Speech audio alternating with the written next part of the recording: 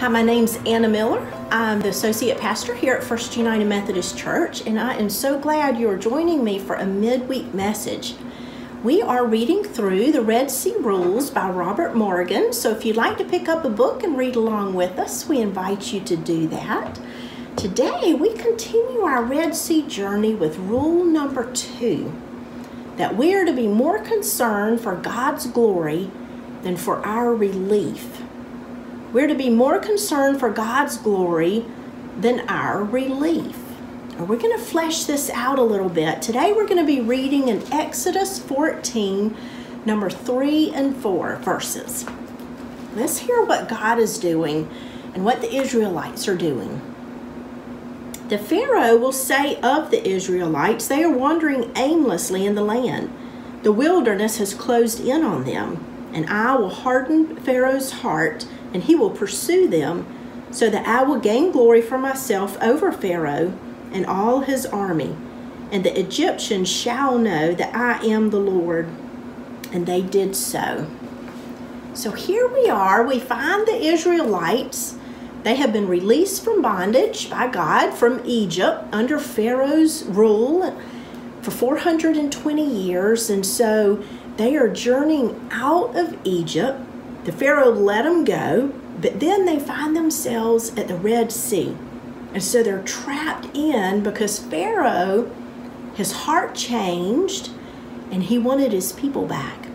And so here they are trapped between the Pharaoh and his army in hot pursuit in this impassable Red Sea. And they are bewildered, they are closed in.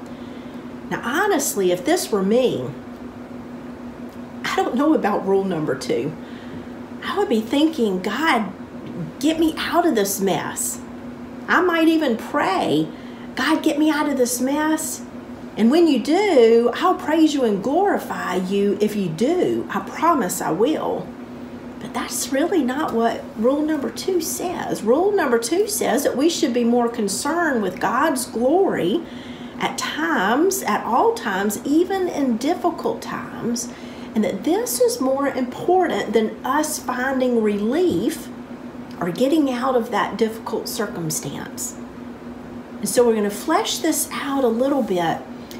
But you know, a thought that came to my mind was a book that I had read by Rick Warren, The Purpose Driven Life, years ago. And honestly, he could have just written the first sentence and then called it a book. It's so true. And it says, it's not about you. It's not about you. You see, we were first created by God, for God, to have fellowship with Him. We were created for His pleasure. God created everything in heaven and in earth for His pleasure. All things are for His glory. You know, the psalmist writes, O Lord, O Lord, how majestic is your name, King of kings, Lord of lords. If you've ever watched a period piece, you would have heard that common phrase that they say very often it's at the king's pleasure or whatever the king desires. It's not a new phrase or concept, but rather found as early as even the Old Testament. We find one such instance in Ezra. Ezra 5:17 says, "Now if it pleases the king, let a search be made in the royal archives of Babylon to see if King Cyrus did in fact issue a decree to build the house of God in Jerusalem. And then let the king send us his decision in the matter." You see, they inquired of their earthly king, King Cyrus at the time, for direction. And what, what was the king's pleasure? If it pleases the king, then we will do this. And I wonder do we inquire of our king, of our Lord, our God, and how we might please our heavenly Father? How we might glorify him, how we might in turn build up his kingdom on earth through our life. So, what exactly is God doing here? What is the king's pleasure in this situation with the Israelites? What we find is that the Israelites are bewildered, they are closed in. Pharaoh's heart has been hardened, he's pursuing them. But we are, we are told here that God will gain honor over Pharaoh and over his army, that God did this so that the Egyptians, the enemy of the Israelites, might know that he is Lord. I like this verse where it says, it says, but in some translations and in some translations it says and or but, so that so that I will gain honor over Pharaoh and over the army, that the Egyptians may know that I am Lord. God deliberately orchestrated the Exodus event so that he could demonstrate his power, so that he could show that he is Lord over all people, even the enemy, even over the elements of the sea. God is greater than all because he is God. He is the Almighty God of heaven and earth and all that is in them. God is greater. I think when we find ourselves, at least me, when I find myself in a difficult situation, it's unless I embrace this truth that God is greater than, God is greater than my situation, God is greater than this evil that might be going on at the moment. Unless I own this truth and believe it, it's going to be very difficult to accept and embrace rule number two to be more concerned for God's glory than for my relief in my difficult time. Why did God allow this situation? He's very clear. He says, so that the Egyptians will know that I am Lord. You see, it's not just for the Egyptians. 2,000 plus years later, it's for us that we would know that God is Lord and that He is greater than whatever difficult situation we are going through. God led the Israelites right in this difficult spot so that even the enemy might know that He is Lord. Now, we might ask in our situation, God, how are you going to be glorified? in this difficult spot in this Red Sea dilemma that I'm going through right now because all I can see is the enemy around me. You're going to have to show me you're, because I can't see past this impassable Red Sea before me. I can't see past the enemy in hot pursuit. So instead of thinking about this hard, fast rule number two, what that we are to be more concerned for God's glory than our relief, maybe we think about our situation like this. Maybe we say, God is greater than my situation, God is greater than my enemy, God is greater than evil, God is greater than my grief, God is greater than my pain, God is greater than my sin, God is greater than me because He is King of kings, He is Lord of lords, He is my Lord. You see, God promises us. We know from Psalm 50 15, when we call upon Him in the day of our trouble, that He will deliver us and that He will glorify Himself in and through us. God says, You shall glorify me when I deliver you.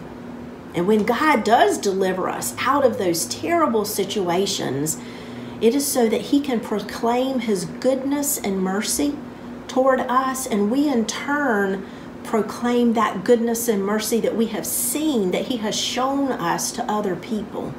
And then that is when God is glorified through us. You know, when we are in that pit of despair, it's hard to look and see anything, it's hard to look anywhere but up.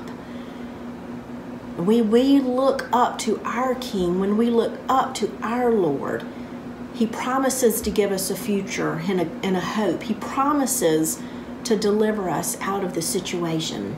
When we call on Him for His help, and there's some situations that we just absolutely cannot get out of without God's divine intervention. And so we call upon God in our darkest hour for a way of escape. You know, Jesus, when he was on the cross, he called out to God in his darkest hour. He cried out to the Father in heaven when he was faced with his death. And he admitted, as we uh, find in the book of John and in the Gospels, Jesus says on the cross, Now my soul is troubled. And what should I say? Father, relieve me from this hour, deliver me from this hour? No. It is for this purpose that I came to this hour, Father, to glorify your name. And many around Jesus, Jesus heard the voice of God. All those around heard this voice from heaven say, I have glorified my name, and I will glorify it again. God is greater than death. Jesus overcame the ultimate enemy of death so that God might gain honor and glory through Jesus and then through us, even in our Red Sea dilemma. God is greater than death because Jesus suffered and gave all that we might have life. It is because of Jesus' birth and life and death and resurrection that we can have eternal life. And this is our Christian hope. You see, it's not about us, but rather it's about God. And it's about us giving God glory in whatever situation we find ourselves in. It may be a good situation, it may be a very difficult situation, but it's about God. One thing is for sure is that God is all about you. God is all about us. He loves us beyond what we could ever imagine. And He wants to give us a future and a hope. And that's why He sent Jesus.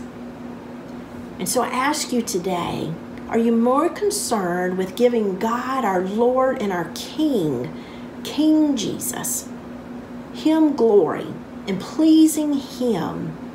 Or are we more concerned about ourselves? about having relief in a situation. God desires to deliver us, He desires to redeem us, He desires for us to take pleasure in Him and what He has done for us and what He will continue to do for us. That He will deliver us from all things because God is greater. God wants to glorify His life in you and through you, so that you, through others, will also, you to others, so that others will also, through you, come to know Jesus is their Lord and their Savior. You have purpose for your life, God in you, and then your life for others, that they too may know life with God. Today I want to end with, with Psalm 8. It is a beautiful scripture that the psalmist writes that gives praise and honor and glory to God. I think maybe sometimes we don't glorify God as much as he deserves. And so today we're just going to take a moment and glorify him and give him praise. And this will be sort of our prayer and our closing benediction with Psalm 8. O Lord, how majestic, our sovereign, how majestic is your name in all the earth. You have set your glory above the heavens. Out of the mouths of babes and infants, you have founded a bulwark because of your foes to silence the enemy and the, and the avenger. When I look at your heavens, the work of your fingers, the moon and the stars that you have established, what are human beings that you are mindful of them? mortals that you care for them, yet you have made them a little lower than God and crowned them with glory and honor. You have given them dominion over the works of your hands. You have put all things under their feet, all option, ox and sheep, and also the beasts of the field, the birds of the air, and the fish of the sea, whatever passes along the paths of the seas. O Lord, our sovereign, how majestic is your name in all the earth. To God be the glory in your life this week. I hope you have a great week, and I'll see you next time.